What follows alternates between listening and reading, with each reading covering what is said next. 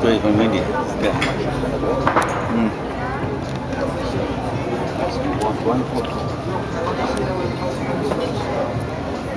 Hello, excuse me. You're from India?